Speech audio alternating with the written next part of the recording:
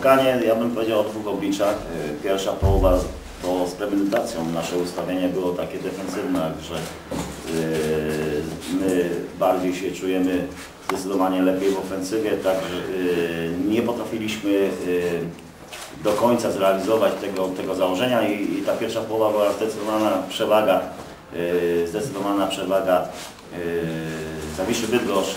No niestety oni też marnowali. Dla nas bardzo dobrze, bo, bo mieliśmy taki plan na ten mecz, chcieliśmy coś zmienić w drugiej połowie. W drugiej połowie wyszliśmy na bardziej ofensywny y, układ i, i powiem szczerze, że zaczął się mecz. Yy, Strzeliliśmy szybko bramkę yy, i, i tutaj przez 15 minut yy, ja tak odczuwam, że w zasadzie było yy, to opanowanie po naszej stronie. Straciliśmy bramkę i w zasadzie się klocki, klocki po- posypały. To, to jest mój problem mojego zespołu, że, że po prostu pod naporem tracimy głowę. Do tego tutaj yy, no, ta defensywa nie jest yy, jakimś monolitem i, i w zasadzie stało się, yy, powiem tak szczerze, chociaż na pewno jak, jakby był remis, bym powiedział, że ten remis może jest dobry dla nas. No niestety byliśmy o jedną bramkę słabsi, jakbym tak op, o, objął cały mecz, no to, to tą jedną Zawisza była lepsza, chociażby z tego względu, że tam pierwszą połowę mieli dużą przewagę.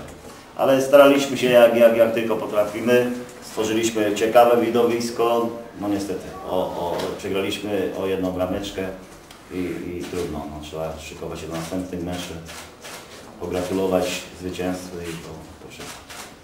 Dziękuję bardzo, to akurat proszę. Ja przede wszystkim bardzo się cie- cieszę ze zdobyczy punktowej. Trzy punkty zawsze na pewno cieszą. Jesteśmy na fotelu, na fotelu wi- wicelidera i to na pewno jest fajne. W pierwszej połowie to, to trener mówił, wiedzieliśmy z kim gramy, z zespołem, który ma taką samą ilość punktów, ale w przypadku nie ma.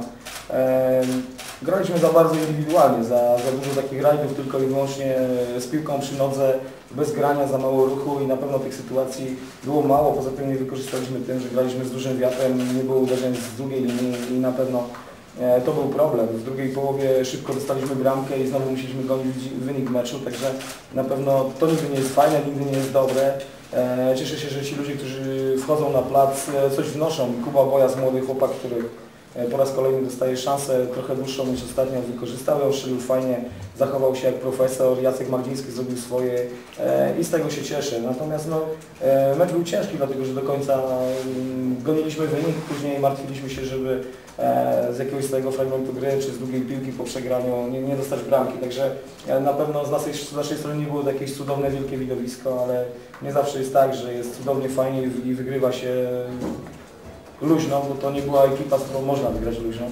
Także na pewno cieszę się z tych trzech oczek. E, Najważniejsze, że dopisujemy trzy punkty, bo ostatnio nie mieliśmy farta tych trzech oczek. I z tego się cieszę. Dziękuję. Czy jakieś pytania do trenerów? Tak, tak, no, że być dużo skutecznych zmian.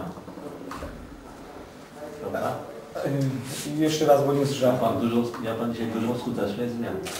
Znaczy, wie pan, z tym to jest zawsze tak, jak trener zmieni i, zawodnik strzeli, to się mówi, że miał nosa, natomiast jak nie strzeli, to że coś tam pomylił. Ja, ja myślę, że najważniejsze, że taka sportowa złość jest u Jacka, który liczył na to, że rozpocznie mecz w podstawowej 11, e, ale jest lepszym zmiennikiem niż Piotrek Bajera, tak zdecydowałem, liczyłem na więcej od Piotra.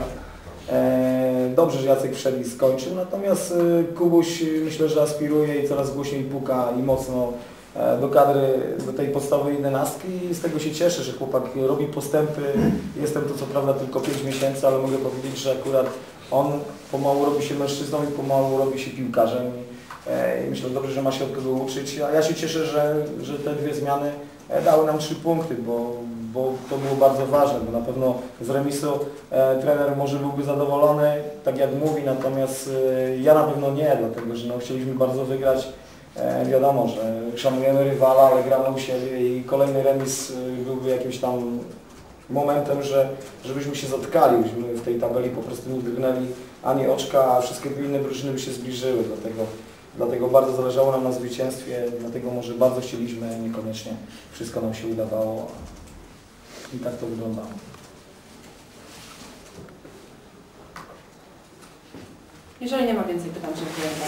Dziękuję.